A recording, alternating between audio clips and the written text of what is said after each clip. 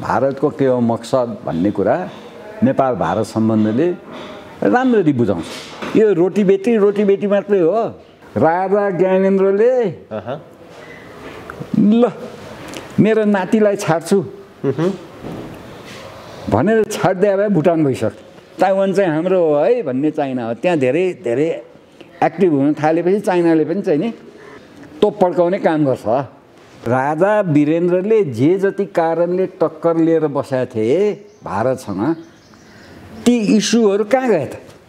त्यहाँदेखि नेपाल हारेछ फेरि। त्यहाँदेखि नेपाल हारेछ त्यो श्वेत पत्रको कुरा कहाँ गयो? त्यो महाकाली सन्धि टनकपुरको कुरा के भयो? अनि हार्दा हार्दै कमजोर हुँदा हुँदै बासठीको त्रिसठी बासठी त्रिसठीको आन्दोलन आयो। त्यसपछि झन् तल गुड्यो नेपाल। त्यतिखेर त बोलिस कि भन्ने थियो। त्यो घर सम्झिनुहुन्छ नि त्यो अर्को घर। त्यहाँ त बम पनि पड्क्या थियो।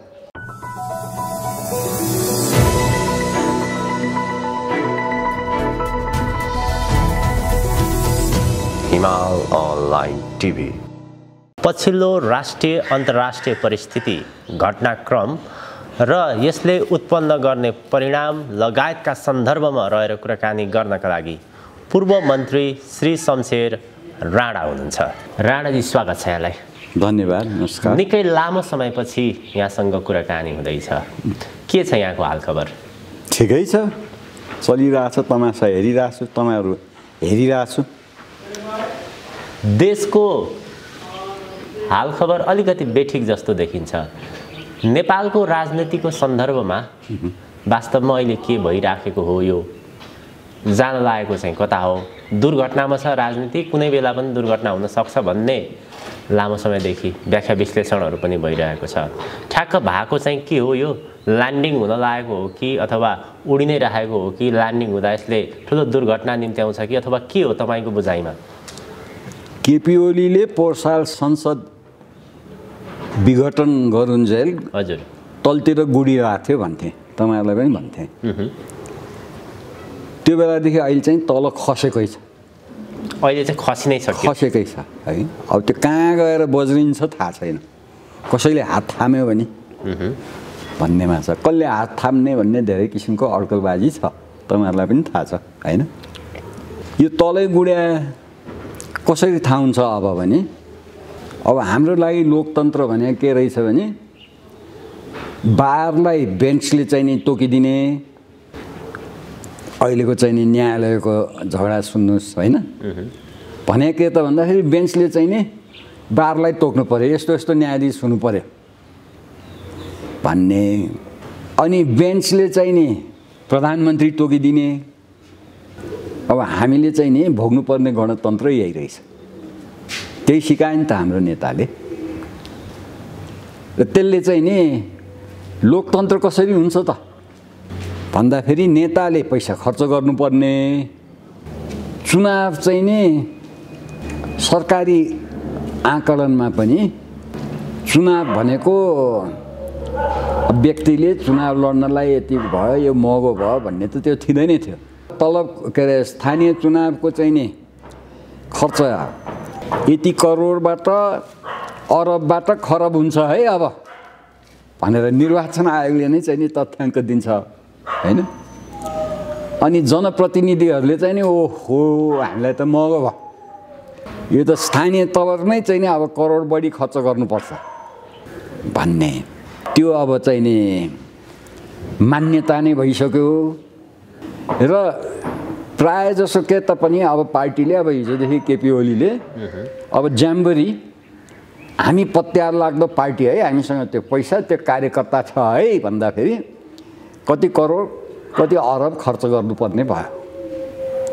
चुनावमा हामी जित्छौँ है यति कार्यकर्ता छ भन्दा। है पाँच लाख यो पछिल्लो समय हजुर। विशेष गरी छ्यालिस सडचालिसको परिवर्तनपछि। बहुदल नेपालले प्राप्त गर्यो बहुदलीय प्रजातन्त्र आयो भनेर भन्यो। त्यस यताको राजनीति र विशेष गरी बैसठी त्रिसठीको परिवर्तनपछि नेपालका राजनीतिक दलहरू उनीहरू आफ्नो सक्षमता योग्यताले राजनीति गरिरहेका छैनन्। उनीहरूलाई थाम दिने अगाडि बढाइदिने पछाडि सारिदिने त्यसका पछाडिका डिजाइनकर्ता चाहिँ अर्कै छ भनेर भनिन्छ। अहिलेको नेपालको परिस्थिति छ नि हुन त नेपाल एउटा दुर्घटनामा छ भनेर भनिन्छ। अहिलेको एमालेको महाधिवेशन हेर्दाखेरि नेताहरूको कार्यकर्ताहरूको उत्साह हेर्दाखेरि केपी ओलीले भनेको पनि सुन्नुभयो तपाईँले अबको देश हाँक्ने भनेको नेकपा एमाले।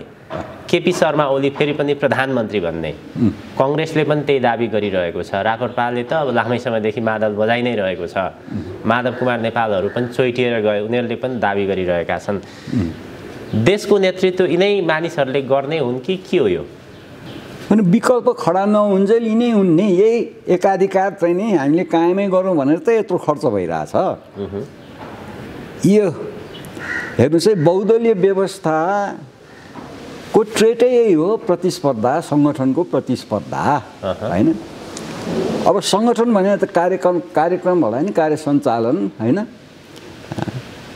कार्यकर्ताहरूलाई चाहिँ नि जनसञ्चालन सञ्चालन गर्ने भोट भोटप्रति आफूप्रति आकर्षण गर्ने त्यो त धर्मै हो। होइन नेपालमा यो संविधान वास्तवमा देश आज यो एउटा द्वन्द्वको चरणमा फस्नुको कारण अस्थिर हुनुको प्रमुख कारण भनेको संविधान नै हो भनेर तपाईँहरू जस्तो विज्ञहरूले राजनीतिज्ञहरूले भनिरहनु भएको छ। जबसम्म यो संविधान र यो गणतान्त्रिक व्यवस्था रहिरहन्छ तबसम्म देशले समस्या भोगिरहन्छ। यस्तो प्रकारको तपाईँहरूको भनाइ छ। दलहरूको कुरा सुन्ने हो भने त उनीहरू निर्धक्कका साथ राष्ट्र चलाउने। हामी नै हो। सत्तरी वर्ष लडेर ल्याएको यो लोकतन्त्र प्रजातन्त्र संविधान संसारकै उत्कृष्ट। यस्तो छ उहाँहरूको ढुक्कता निर्धक्कता त त्यस्तो देखिन्छ नि। त्यही निर्धक्कता जनता कहाँ ल्याउनलाई त यत्रो खर्च गरेको? खर्च चाहिँ कसले गरे? हो अब कुरा आयो। बुझ्नु भएन जनपरिचालनको लागि जुन स्रोतहरू चाहिन्छ त्यो स्रोत नेपाली जनताको काबुमा छ? या नेपाली नेताहरूको काबुमा छ भनेर प्रश्न त पहिलेदेखि गर्नुपर्ने नि। अलि ढिला भयो। धेरै नै ढिलो भयो। होइन अहिले सबै यो चाहिँ नि विदेशी खेले यो खेले ऊ खेले भन्छ नि। त्यो त हामीले पहिलेदेखि नेपालले पहिले भोगिसकेका कुरा हो। एउटै कुरा राम्रो भएको छ। त्यति बेला तपाईँहरूको आवाजले दबाइयो अथवा तपाईँहरूको आवाजलाई जनताले पत्याएन। होइन जनताले तिस वर्षसम्म त राजा महेन्द्रको आवाज त पत्याएकै हो नि। होइन? हजुर। तिस वर्षभित्र तिन तिनचोटि चाहिँ नि बाहिरबाट चाहिँ नि यिनै नै नेताहरूको सङ्गठनले हमलै गर्न खोजे त हो नि। होइन? त्यो प्रजातान्त्रिकरणको राजा वीरेन्द्रको प्रयासले त्यो महेन्द्रको सङ्गठन बिस्तारै तुहिँदै गएको पनि हो नि। यो भोग्नु थियो देशले। थामेन। होइन भने राजा वीरेन्द्र एक्लैले भारतीय नाकाबन्दी त्यो खपिरहेको बेलामा त्यतिखेरको राष्ट्रिय पञ्चायतको नाटक हेर्नुहोस् त। होइन एउटा देशको राजाले या एउटा देशले अर्को छिमेकी ठुलो देशसँग चाहिँ नि टक्कर लिएर बसेको छ। समर्थन त राजाको यहाँ त तल त जुलुस आएको थिएन। चाक्सीबारीमा पाउने आएको के पो भयो त? होइन। ठिक छ भाइ अब यो साक्षीबारीमा पाउन आएपछि त्यसपछि राजनीतिक माहौल माहौल होइन। ठिक छ भाइ यो चाहिँ हो नि सङ्गठनको स्वतन्त्रता चाहिन्छ। अब यिनले भने पनि ठिकै होला बहुदलीय र बहुदलीय व्यवस्था आयो अरे तर राजा वीरेन्द्रले जे जति कारणले टक्कर लिएर बसेका थिए भारतसँग ती इस्युहरू कहाँ गए त? त्यहाँदेखि नेपाल हारेको छ फेरि। त्यहाँदेखि नेपाल हारेको छ त्यो श्वेत पत्रको कुरा कहाँ गयो? त्यो महाकाली सन्धि टनकपुरको कुरा के भयो? अनि हार्दा हार्दै कमजोर हुँदा हुँदै बासठीको त्रिसठी बासठी त्रिसठीको आन्दोलन आयो। त्यसपछि झन् तल गुड्यो नेपाल। त्यति बेला पनि त राजा ज्ञानेन्द्रले एकलौटी रूपमा शासन सत्ता सम्हालेका थिए। ती सन्धिहरू ती प्रसङ्गहरू किन उठान भएन त्यति बेला? उठाइदिने मान्छे भएन। पछि यो बासठी त्रिसठीको कडी कडा हामी त बोल्नु हेर्नुहोस् है। म तपाईँहरू आउनुहुन्छ म बोलिदिन्छु। होइन? त्यतिखेर त बोलिस् कि भन्ने थियो। त्यो घर सम्झिनुहुन्छ नि त्यो अर्को घर। त्यहाँ त बम पनि पड्किएको थियो। तर जो जति साथी आएको थियो सबैलाई भेटेकै थिए। बोल्लास् भनेर निषेधमा त अझ पनि हामी चाहिँ नि मेन स्ट्रिम मिडियामा त हामी त निषेधै छौँ नि। तपाईँहरू पो खोजी खोजी आउनुहुन्छ। युट्युबले धेरै काम गरेको छ त्यति बेलादेखि निषेध हुनुभएको अझै पनि निषेधमै हुनुहुन्छ। खै मलाई त बोलाएको छैन। जाने नजाने मेरो ऊ हो। तर खास मेजर मिडिया म म त लेखिरहेको मान्छे हो हेर्नुहोस् है। झन्डै पचास वर्ष भयो होला लेखिरह अस्ति मनोकामना गोर्खा भुएँ कहिले काहीँ लेख्ने मान्छे राइटर्स इट्स हुन्छ कि? कलम चिलाउँछ। हात चिलाउँछ लेख्नलाई। कुन पत्रिकामा लेखौँ? भन्दा यसमा लेखौँ। बरु लेख्दिनँ दा भन्छु म। अनि अस्ति भर्खर त्यो चाहिँ नि त्यो के अरे चाहिँ नि जोगी भारतीय जोगी उसले चाहिँ नि टेलिभिजन खोला अहिले हल्ला भइरहेछ ल है शेरबहादुर देउबाली ए भाइ हाम्रो मिडिया सेक्टर कति विदेश प्रभावित भनेर मिडिया पर्सनले नै जज गर्दैन। कति कानुन प्रभावित? अहिले आएर चाहिँ नि त्यो विदेशीको लगानी वर्जित छ है हाम्रो मिडियामा भनेर अहिले भन्ने। हजुर हजुर। लगानीको स्रोतहरू खोजा छ। बुझ्नुभयो नि? सबैतिर भत्ताभुङ्ग अब अहिले जसरी चाहिँ नि अब सर्वोच्चमा अलिकति खोतोखाइ यो त बिटुलो व्यवस्था हो हेर्नुहोस् है। यो बिटुलो व्यवस्था यसले बिटुल्याउँछ सबैलाई।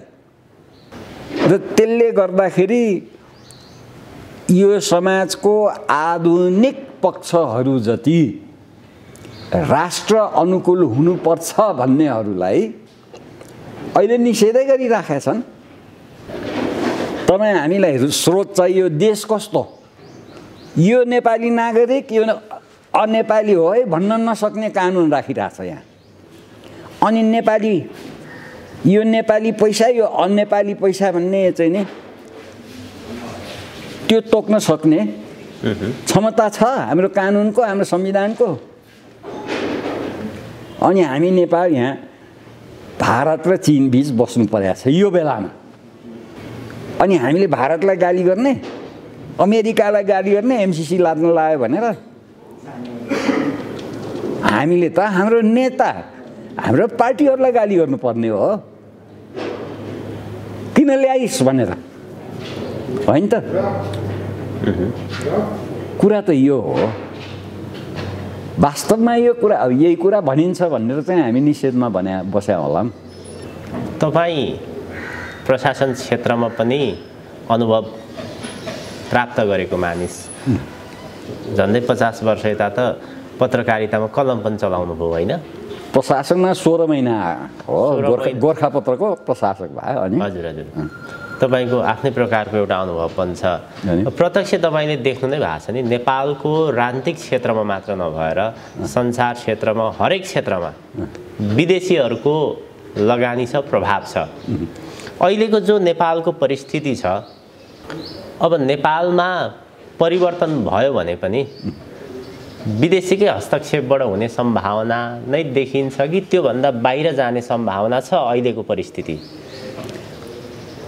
होइन यो विगत चाहिँ नि के भने तिस वर्षसम्म पाएको हाल हालिमुहाली विदेशीहरूले त्यसले एक अर्कालाई चेकमेट गर्यो के? सरकार या चाहिँ नि सत्ता कस्तो भयो? भने दाहिने फर्केर म तिम्रै मान्छे देब्रे फर्केर म तिम्रै मान्छे हुँ भन्ने खालका सत्ता या सत्तामुखी राजनीतिलाई प्रशय हाम्रो कथित प्रजातन्त्रले दियो। त्यो सत्तामुखी भयो। त्यो राष्ट्रमुखी होइन। व्यवस्था नेतृत्वको अनुकूलता छैन अहिले देशमा।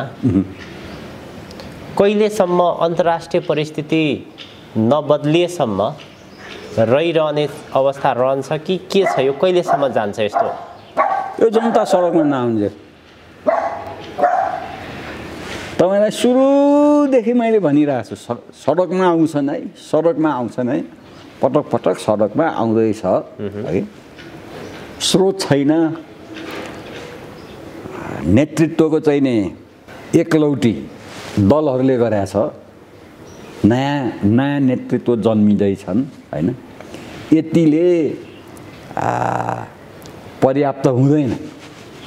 यो सत्तरी सत्तरी वर्षको। सडकमा आउने कुरा त एउटा कुरा भयो। अहिले जसरी अन्तर्राष्ट्रिय परिस्थिति बदलिएको जस्तो देखिन्छ। अमेरिका संसारकै शक्तिशाली राष्ट्र थियो। अहिले ऊ निकै कमजोर हुँदै गएको अवस्था छ। आर्थिक रूपमा पनि चिनले उसलाई पछि पारेको छ।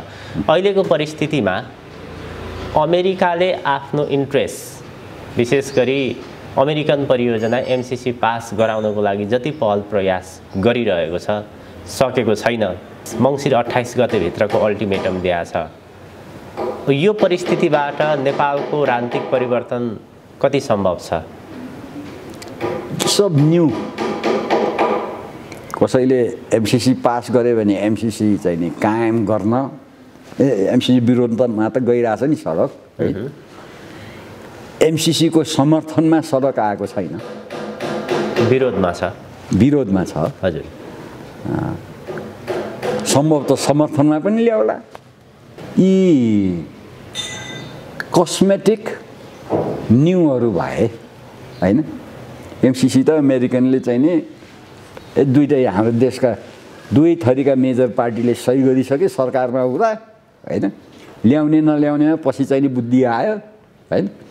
अब ल्याउँदा पनि फसिन्छ कि भनेर चाहिँ यो ढिलढाल गर्ने हो।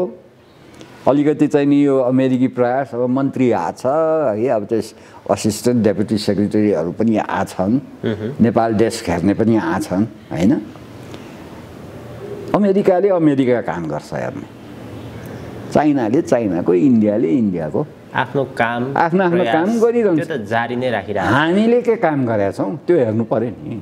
हामीले त के गरिरहेको हामीले गर्ने के भन्ने विषयमा तब नेपालका राजनीतिक दलहरू उनीहरूकै स्वार्थ इन्ट्रेस्ट अनुरूप काम गर्ने भए? कुरा कुरा के भइरहेछ त भन्दा देशको लागि हामीले सबैलाई चिडाइरहेछ। सबैलाई चिडाइरहेछ। जबकि हामीले हाम्रो स्वार्थको लागि यिनीहरूको स्वार्थ प्रयोग गर्नुपर्ने हो हाम्रो देशको लागि। होइन? उल्टो के त भन्दाखेरि हामीले आफूलाई अविश्वसनीय बनाइरहेछौँ भने यो त मैले अब धेरैचोटि बोलिसकियो हेर्नुहोस्। नेपालको राजनीतिमा एउटा चाहिँ फ्याक्ट कुरो के देखिन्छ भने नेपालका राजनीतिक दलहरू आफ्नो स्वार्थ अहङ्कारले गर्दाखेरि सत्ता लोलुपताको कारणले गर्दाखेरि आज देश भू राजनीतिको भुमरीमा फस्या छ। अब चाहेर पनि नचाहेर पनि देश त रणभूमि हुने सम्भावना देखियो। अब तपाईँ हामीले त हेरेर बस्न बाहेक केही अवस्था देखिएन। कि यसको लागि चाहिँ अलिकति आर्मीले पहल प्रयास गर्नु पर्यो हामीले हेर्दाखेरि? हेर्नुहोस् यो आर्मीको कुरा वास्तवमा सही प्रजातन्त्र हो भने तपाईँ हामी जेलमा जानुपर्ने। आर्मीलाई आइज पुलिसलाई काम नगर भन्ने प्रजातन्त्रमा भन्छ एउटा सभ्य समाजले भन्छ। सरकारले चलाउने हो। या त्यो आर्मीको प्रमुखले चलाउनु पर्ने उनीहरूको जिम्मा जुन सुरक्षा हो त्यो सुरक्षा आफ्नो हातबाट जान थाल्यो भने उनीहरू अटोमेटिकली कि त आफूलाई डिसब्यान्ड गर्नु पऱ्यो होइन? नासै गर्नु पऱ्यो हामी छैनौँ है भन्नु पऱ्यो त अटोमेटिकली चल्छ।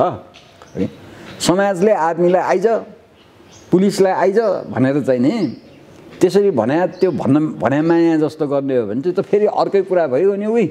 बारले बेन्च टोक्या जस्तै हो नि। होइन? बेन्चले प्रधानमन्त्री बनाए जस्तै हो। त्यसलाई पनि चाहिँ तपाईँले चाहिँ उसले हान्ने बेलामा हान्छ हान्ने हो भने। नहाने भने ढिलो भयो भने यिनीहरू स्वतः नासिन्छन्। त्यसैले आर्मीबारे मलाई भन्नु नै छैन। यहाँको सुरक्षा अवस्था राम्रो छैन। त्यही तपाईँ हामीले चाहिँ नि सडकमै हिँड्दाखेरि थाहा हुन्छ। त्यसले के काम गरेर बसेको छ? गरोस् भन्छु म। गरेको छ कि छैन थाहा छैन। तपाईँहरूले हामीले विशेष गरी राष्ट्रको निमित्त खेल्नुपर्ने भूमिका। उठाउनुपर्ने विषयहरू सञ्चार माध्यमको तवरबाट उठाइ नै रहेका छौँ। अब त्योभन्दा बढी गर्ने ठाउँ पनि छैन हाम्रो तवरबाट हेर्दाखेरि। त्यो गरिरहनु भएको छ खास गरी तपाईँहरू युट्युबकोले। सानो लगानी छ। होइन? सत्तालिस सालपछि एउटा कुरा के भयो भने प्रजातन्त्र हाम्रो लेख्ने बोल्ने र सुसूचित हुने अधिकार यो सरकारले चाहिँ नि हनन गर्नुहुन्न भनेर संवैधानिक रूपमा राखियो। हिजो अस्ति त चाहिँ नि ब्यान हुन्थ्यो पत्रिका प्रेस जफत हुन्थ्यो सिल हुन्थ्यो। त्यो गर्नु भएन। हजुर हजुर।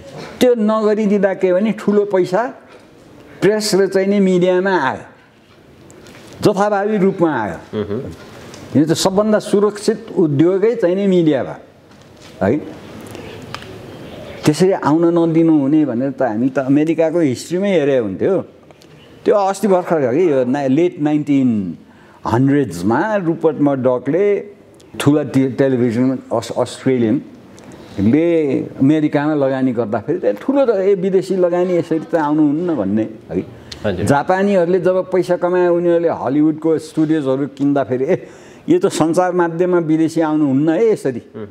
भन्ने फेरि चाहिँ नि अमेरिकाको आन्तरिक नियमै मोनोपोलीको विरुद्ध छ है। एउटा मेजर टेलिभिजनले त्यो सानो चारवटा टेलिभिजन भन्दा किन यहाँ त अखबारको लाइसेन्सले एफएम बदलिएर एफएमलाई टावर टावरबाट जोडेर नेसन वाइड बनाएर त्यसमा फेरि टिभी पनि चाहिँ नि स्याटेलाइटै नगरिकन टिभी पनि गऱ्यो अनि त्यो त्यो पछि सबै मा मानेर पछि स्याटेलाइट टिभी पनि हामीले मान्यौँ है? कानुनले त हामीलाई त एक दुईवटा यहाँ चाहिँ नि विदेशी पत्रिकामा ल है विदेशी आयो है भन्दाखेरि त्यो कहाँबाट विदेशी आयो भने त्यो त्यत्तिकै चलि पनि रहेछ। हजुर। राणाजी अलिकति हामी टु दि पोइन्टमा कुराकानी गरौँ। देशको आजको अवस्था तपाईँ हामी सबैलाई थाहा छ। नेपालका राजनीतिक दलहरूलाई अमेरिकन प्रेसर छ चाइनिज प्रेसर छ इन्डियन प्रेसर छ। जबसम्म यिनीहरूको विकल्पको रूपमा एउटा दरो शक्ति खडा हुँदैन तबसम्म त राज्य सञ्चालन उनीहरूले नै गर्ने हो। उनीहरूलाई रिप्लेस गर्नको लागि त त्योभन्दा बलियो शक्ति तयार भएर आउनु पर्यो। अनि मात्र रिप्लेस हुन्छ। अब जुन त्रिदेशीय एउटा प्रेसर छ उनीहरूलाई त्यो प्रेसरले चाहिँ कस्तो प्रकारको परिणाम ल्याउँछ त नेपालमा? त्यसले नेपाललाई कस्तो प्रकारको क्षति गर्छ त भन्ने चाहिँ ठुलो प्रश्न एउटा गम्भीर प्रश्न छ नि। हो। कस्तो क्षति गर्छ त्यसले? कि त एउटा एउटापट्टि पुरै ढल्किनु पर्यो?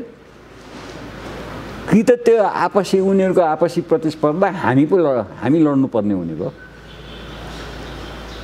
बुझ्नु भएन होइन भने हामी आफू उम्किनु पऱ्यो हामी दर गरी खुट्टा टेक्नु पऱ्यो त्यसैले त भनौँ न यो वाणिज्य पचास साठी सत्तरी वर्ष अगाडि तपाईँले यो सात सालपछि विदेशी मिडियामा एभरेस्ट सेभरेस्ट भन्ने आउँथ्यो होइन?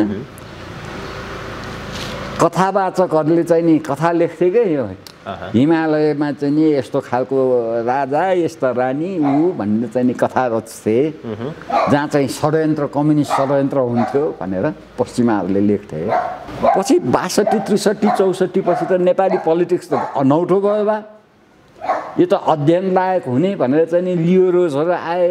है अब यहाँबाट गएको विस्थापित भएका भुवनलाल जोशीहरू जस्तो हो राजनैतिक शास्त्रीहरूले नेपालको राजनीतिबारे अध्ययन गरे होइन? ए यहाँ त डेमोक्रेटिक इनोभेसन भएर रहेछ। यो नयाँ नयाँ किसिमको डेमोक्रेसीको प्र्याक्टिस गराएर रहेछ है यहाँ। भनेर उनीहरूले उ गरे है निर्णयका एउटा निश्चय गरे किताबै लेखे democratic innovations in Nepal Leo Rose जस्ताले। उनीहरूले प परराष्ट्र नेपालको परराष्ट्र नीति स्ट्राटेजी फर सर्भाइभल यता यो त नेपाल त सर्भाइभलको लागि चाहिँ नि स्ट्रगल गरिरहेको रहेछ है। बाँच्नलाई चाहिँ नि लडिरहेको रहेछ नेपाल भनेर। उनीहरू पश्चिमाहरूले भने होइन जब हामीले चाहिँ नि स्ट्रगल गर्न छाडेनौँ यही हुन्छ। त्यसैले हामीले स्ट्रगल गर्नुपर्छ आउनुपर्छ सडकमा। यो हाम्रो नेताहरूले हामीलाई बागमतीबाट बेचे भनेर हामी भन्न तयार हुनु पर्यो। होइन विकल्प अनि सडकबाट खडा खडा हुने हो।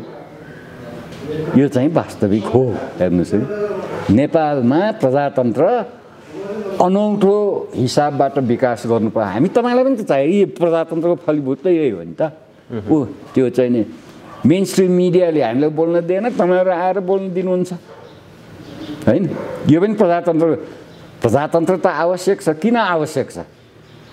भने तपाईँ हामी साधारण व्यक्तिले यो मेरो देश यो मेरो सरकार हामीले हाम्रो चाहिँ नि अधिकार प्रयोग गरेर बनाएको सरकार भनेर हामी तपाईँ त्यो निष्कर्षमा पुगौँ र हाम्रो चाहिँ नि हामी आफू परिचालित हौँ देशको विकासको लागि होइन? हामी अग्रसर हौँ प्रजातन्त्रको उपयोगिता त्यहाँ हो। तर त्यो उपयोगिता यो व्यवस्थाले गरेन।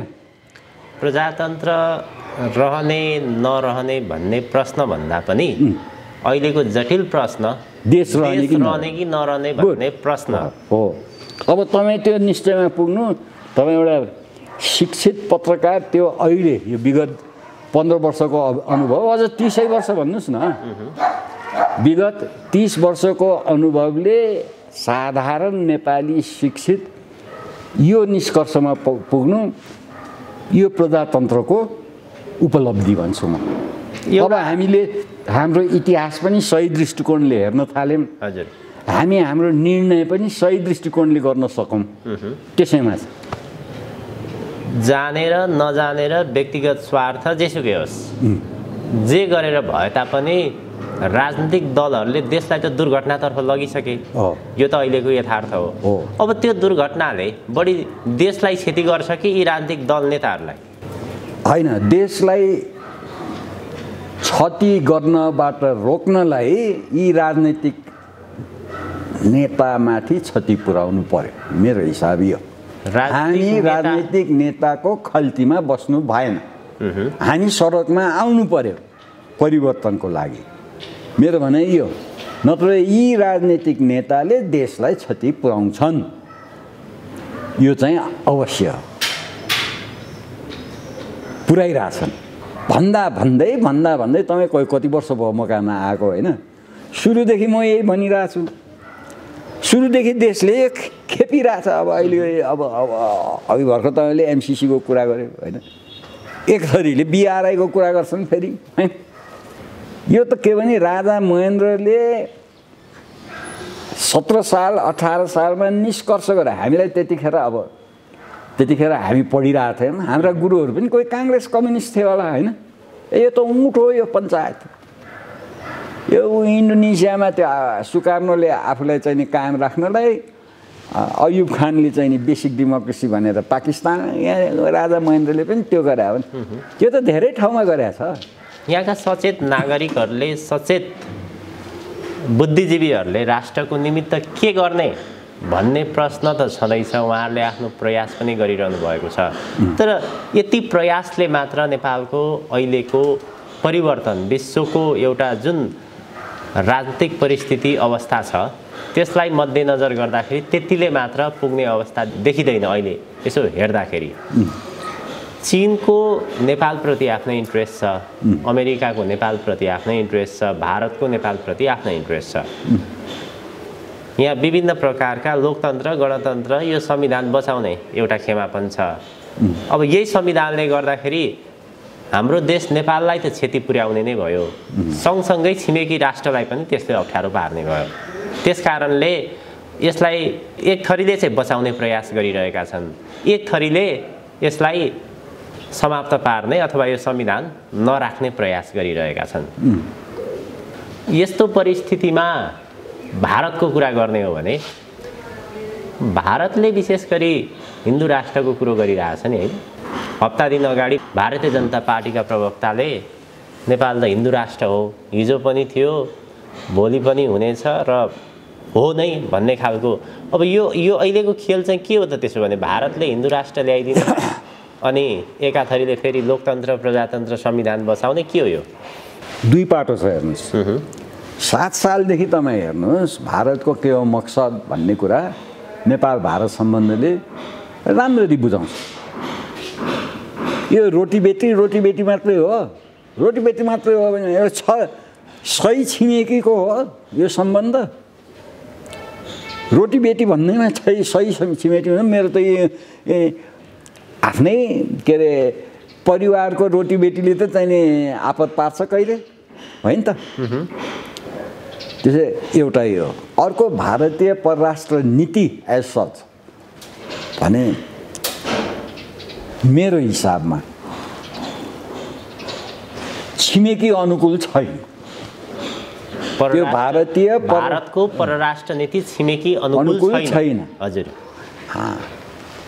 त्यसको चाहिँ नि उपज के हुन्छ भने भारतको सुरक्षा नीतिमा ठुलो लगानी हुन्छ।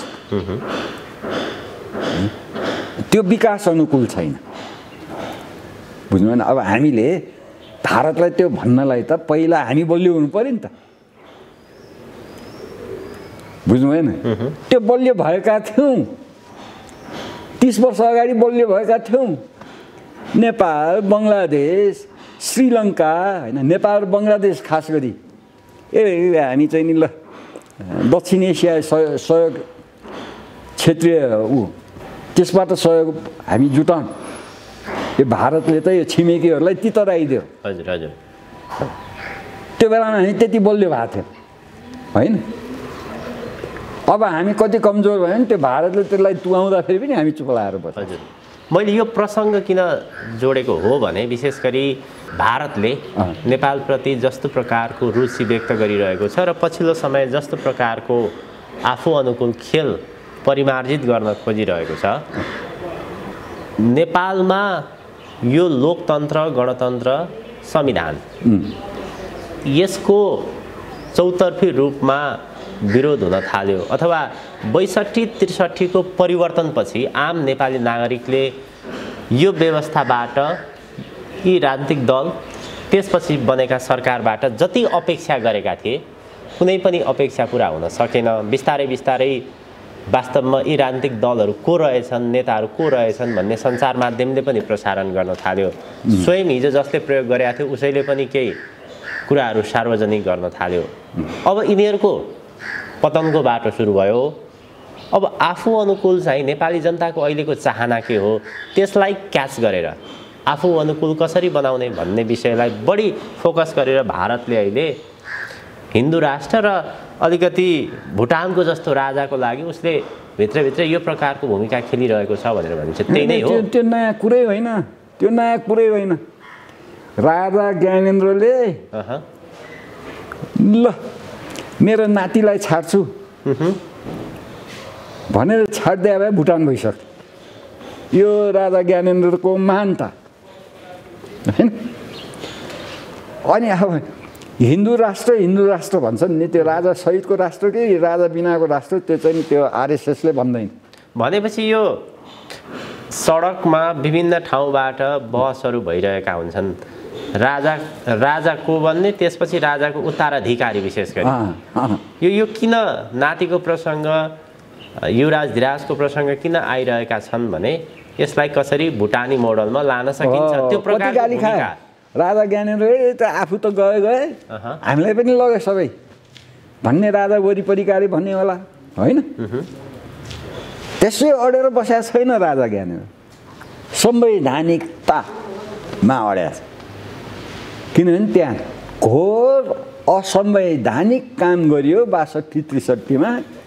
विदेशीको चाहिँ नि बुई चढेर आएर एउटा संविधान असंवैधानिक तरिकाले जबरजस्ती च्यातियो त्यो नेपालको पहिलो इतिहासमा पहिलोचोटि सार्वभौम नेपालको इतिहासमा पहिलोचोटि च्यातियो अब तपाईँलाई एउटा विचार गर्नुहोस् न।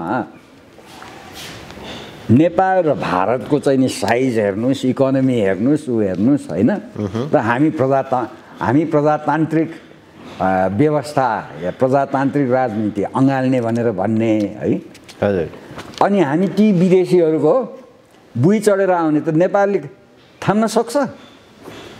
यदि तपाईँले भने जस्तो जुन विकल्पको कुरा गरिरहनु भएको छ जनता सडकमा नआउने हो भने त अहिले चाहिँ हिन्दू राष्ट्र राष्ट्र संस्थाको कुरा गरिरहेका छन् त्यही बाटोबाट मात्र जाने हो भने फेरि नेपाल चाहिँ फेरि अर्को दुर्घटनामा पर्छ फेरि भुटानको बाटोमा जान्छ। त्यो होइन यो यसो पनि हुन्छ फेरि। यो यहाँ यहाँ कसैको अनुकूलको नहुँदाखेरि अस्ति वातावरण सम्बन्धी अन्तर्राष्ट्रिय सेमिनार भयो नि? बेलायतमा। बेलायतमा। हजुर। होइन त्यहाँ तपाईँले हेर्नुहोस् स्वार्थ मिल्या खण्डमा चिन र चाहिँ नि भारतले चाहिँ नि अमेन्डमेन्ट पनि ल्याउन सक्ने रहेछ नि त। होइन? हजुर। र चाहिँ नि त्यो स्वार्थ मिले यहाँ चाहिँ यो विदेशी थर्ड कन्ट्री प्रवेशको हिसाबबाट जुन जबरजस्ती गर्न खोजिराखिया छ त्यो भारत र चिनको स्वार्थ अनुकूल कति रहेछ त भनेर तिनीहरूले चाहिँ नि छामछाम छुमछुम त गरिरहेछन्। होइन? एक थरीले उक्साइरहेको छ तपाईँले यो म फेरि पहिला जान्छु अघि। नाइन्टिन फिफ्टिजमा होइन?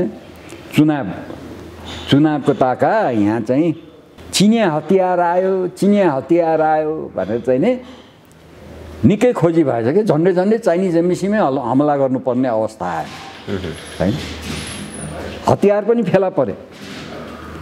हतियार कहाँबाट आयो भनेर चाहिँ पुलिसले राम्ररी सुराकी गरे त अमेरिकन एम्बेसीको रहेछ।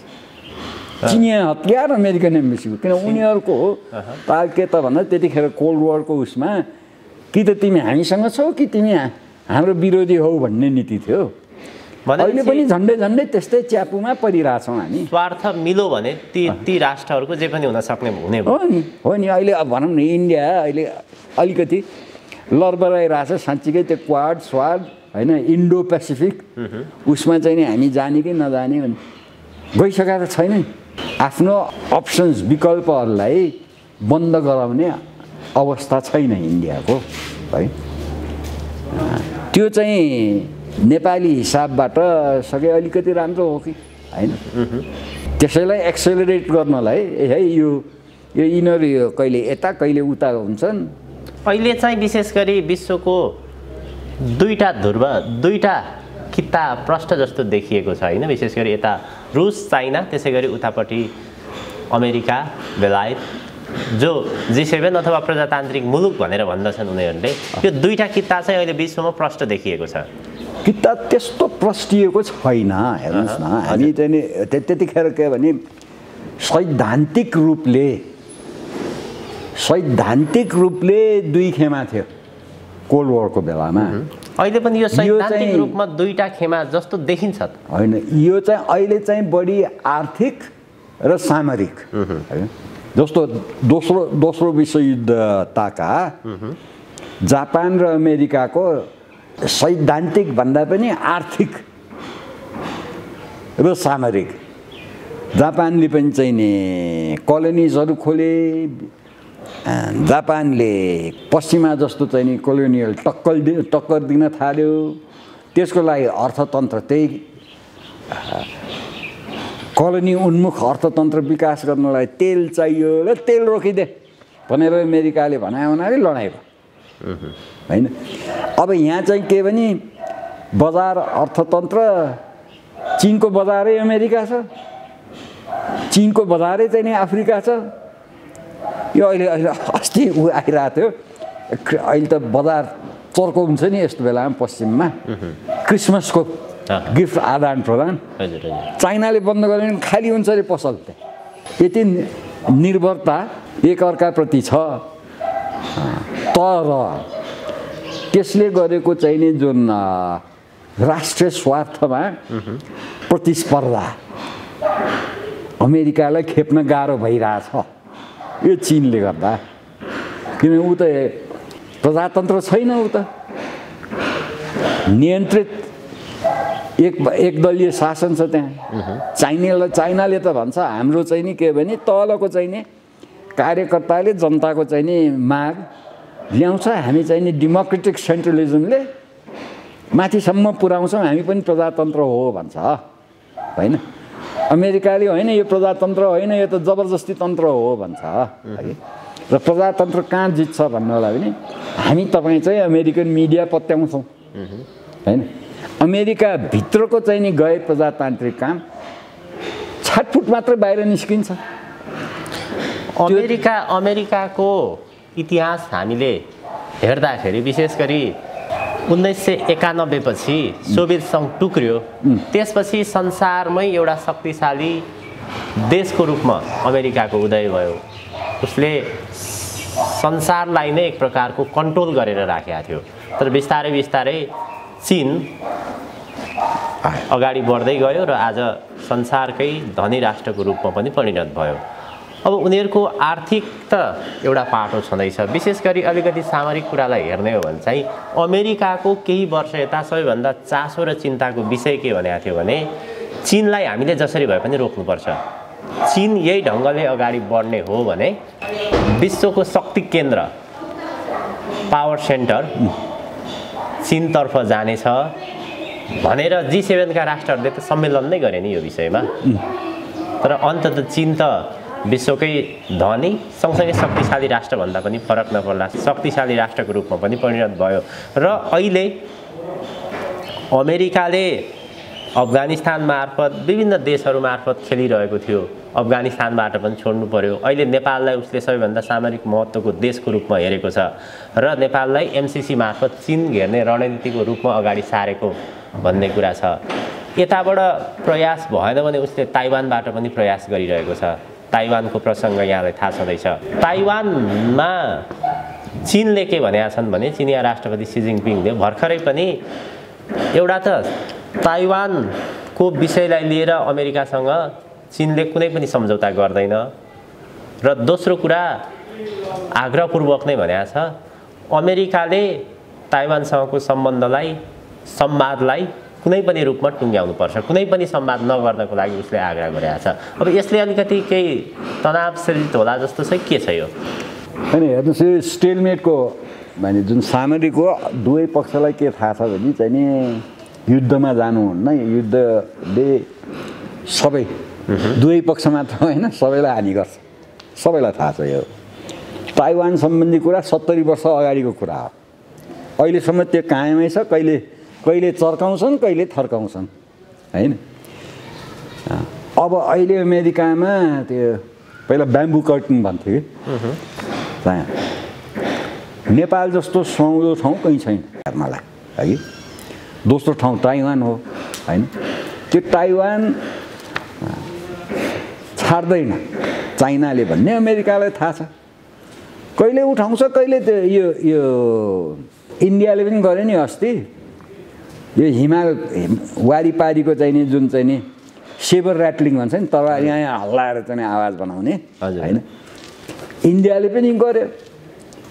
अब त्यो पिर थुपार्ने बेलामा यो गर्ने हो कतातिर के कतातिर के कन्सेसन लिन्छन् यिनले? कि? दिन दिन खोज्नेले दिन्छन् दिन चाहनेले दिन्छन्। होइन भने दिँदैन त्यो कराइरहन्छन्। तर हामीलाई त हामी त च्यापुमा फर्यौँ नि। होइन? हामीलाई त त्यसको पो त्यो ताइवान साइवान छाडिदिनुहोस् यी ठुल्ठुला कुराहरू। त्यो त थिँदै थिए। त्यसको नेपालमा आउने भयो नि फेरि। होइन सुन्नुहोस् न। अब बाछिटा त्यतिखेर त आएन। जुन बेलामा अमेरिकाले चाइना यो यति ठुलो चाइना छैन हामी ऊ त्यो ताइवानलाई हामी चाइना मान्छौँ थियौँ। होइन यो चाइना भने यही हो है भनेर नेपाल भने हो। बुझ्नुभयो नि? हजुर हजुर। त्योभन्दा त अहिले त दुइटा ताइवा तिमीहरूले यो ताइवान हाम्रो हो तिमीहरूले यहाँ धेरै उ नगर है भने उसको सिस्टम हामीले मानिरहेछौँ। तर ताइवान चाहिँ हाम्रो हो है भन्ने चाइना हो। त्यहाँ धेरै धेरै एक्टिभ हुन थालेपछि चाइनाले पनि चाहिँ नि त्यो सेपरेट के के भन्छ तँ पड्काउने काम गर्छ। हामी छौँ है हामीले छाड्दैनौँ है भनेर काम गर्छ। त्यो हो। इन्डो पेसिफिक नीति नै के अरे चाहिँ नि अमेरिकाले अहिले त्यो त्यो इन्डो पेसिफिक स्पिनबाट इन्डो पेसिफिक स्ट्राटेजी अप्नाउनु परेको कारण के त भन्दाखेरि अहिले ग्लोबल ट्रेडै चाहिँ नि इन्डियन ओसन र पा पेसिफिक ओसनमा अब अब त्यो एटलान्टिक ओसनको ग्लोबल ट्रेड भन्दा सामरिक दृष्टिकोणले इन्डियन ओसन तेल जति इन्डियन ओसनबाट आउनु आउनु पर्ने बाँकी जति पेसिफिक अब चाइ चाइना र चाहिँ नि अमेरिकाको ट्रेड हजुर हजुर होइन त्यो हिसाबले अहिले प्राथमिकता चेन्ज भएको छ। त्यो ट्रान्स एटलान्टिक कल्चर ट्रान्स पहिलो र दोस्रो विश्वयुद्धमा एटलान्टिक सागर त्यत्रो युज भएको थियो। अब चाहिँ झगडा अन्तर्राष्ट्रिय सम्बन्ध पेसिफिक ओसन इन्डियन ओसनमा केन्द्रित छ। हजुर हजुर भनेर अब त्यो अमेरिकाहरू माने विद्वान हो अमेरिका। उनीहरूले अगाडि नै चाहिँ नि अब यो हुन्छ है भनेर आफ्नो नीति त्यसरी बढाइरहेको हुन्छ त्यही विद्या आर्जन गर्नलाई चिन जस्तो कम्युनिस्ट कन्ट्रीले वर्षको पाँच हजारको दरले विद्यार्थी पठाए त्यहाँ। त्यहाँबाट फर्किआएर पनि वी वान्ट डेमोक्रेसी त भने नि। हजुर। टिएनआनमेन स्क्वेयरमा चाहिँ नि त्यो त्यो अन्त भएपछि चाइना विकास भयो। हजुर राणाजी यो अन्तर्राष्ट्रिय परिस्थितिलाई यहीँ रोक्दै लगभग हामी कार्यक्रमको अन्त्यतिर छौँ। यो अन्त्यमा चाहिँ नेपालको परिस्थितिको विषयमा विशेष गरी। राजाको जे कुरा छ अहिले राज संस्था नेपालमा स्थापना हुने कुरा दुईवटा कुराले देखिन्छ। पहिलो कुरा सबभन्दा राम्रो जनता सडकमा आउनु पर्यो। त्यो विकल्प त्यो त्यो माध्यमबाट गयो भने सबभन्दा राम्रो देशलाई पनि सजिलो र त्यो चाहिँ राष्ट्रको पक्षमा परिवर्तन हुन्छ भनेर भनिन्छ। यदि त्यो अहिलेको परिस्थिति हेर्दाखेरि जनता सडकमा खासै आएको देखिँदैन। हजार दुई हजारले परिवर्तन आउने कुरो आएन। त्यो बाटोतर्फ जनता सडकमा आएन भने पहिलो कुरो र दोस्रो कुरो अन्तर्राष्ट्रिय परिस्थिति। भारतले जुन प्रकारको परिवर्तन जुन प्रकारको राज संस्था नेपालमा चाहिरहेको छ अहिलेका राजा ज्ञानेन्द्र शाहले त्यतातर्फ जाने चासो व्यक्त गरेनन् भने देखाएनन् भने राज संस्था आउँछ। त्यो राजा कुरा छाडिदिनुहोस्। राजा हुन्। हामी तपाईँले गरे जस्तो राजनीति गर्न थाल्यो भने त्यो त राजै होइन। राजनीति गर्न थाल्यो भने राजा होइन। राजा होइन। राजाको हिसाबबाट उनले राजनीति गर्ने हुन् देशको लागि गर्ने हुन् होइन? देशको लागि उनी यहाँ बसेका छन् है? बाहिर जा त भने हो नि छाड त भने हो नि। र बेला बखत जे जति चाहिँ नि महाराज राजले चाहिँ नि उहाँको वक्तव्य सार्वजनिक गरिबक्सिन्छ देशको बारे त धेरै राम्ररी बुझिबक्स्या रहेछ। अब उहाँले जे गर्ने उहाँले गर्ने हो। नेपाली जनता चाहिँ सडकमा आउने हो। मैले बुझेँ यो। नेपाली जनता पर्याप्त रूपमा सडकमा आएपछि सबैले छर छिमेक यहाँ भित्री शक्ति बाहिरी सबैले नाकको चालले त्यो कुरा पहिचान गर्छन्। विकल्प आउने बेला भयो है भनेर। बुझ्नुभयो नि त्यो बाहेक अरू विकल्प छैन। यदि राजा फर्केनन् भने देशप्रतिको लगाव माया मऱ्यो त्यस त्यसपछि तपाईँहरूको लागि? देशप्रतिको लगाव त कसरी मर्ला? हजुर। तर हामी तपाईँको राजनीति सिद्धियो। किन देशको लागि हो नि? म त इतिहासको लागि इतिहासमा नाम लेखाउनलाई राजनीतिमा गरे होइन। म राजनीतिमा छु कि छैन त्यो पनि थाहा छैन। म त मेरो देशप्रतिको कर्तव्य गर्ने हो। त्यो कर्तव्य तपाईँले गरिरहनु भएको छ। अब जब यो देशै र नरहने अवस्था हो भने त मैले त के इतिहासमा नाम लेखाउन उफ्रिने। देशको लागि गर्ने हो। बुझ्नुभयो नि उहाँहरूले इतिहासको इतिहासमा नाम लेखाउनु गरे कस्तो लेखे त उहाँले? भोलि इतिहासले के भन्छ उहाँहरूलाई? अहिलेको देशको परिस्थिति हेर्दा। अहिले कसरी? राजा महेन्द्रको वाहवाही आइरहेछ अहिले। होइन? देशको लागि गर्ने हो। तपाईँ हामी सबै नागरिकले हाम्रो देश उठाउनलाई गर्ने हो राजनीति भने। यो संविधानले यो गर्न दिँदैन। हस् राणाजी अत्यन्त धेरै धन्यवाद यहाँको महत्त्वपूर्ण समय र विचारको लागि। धन्यवाद।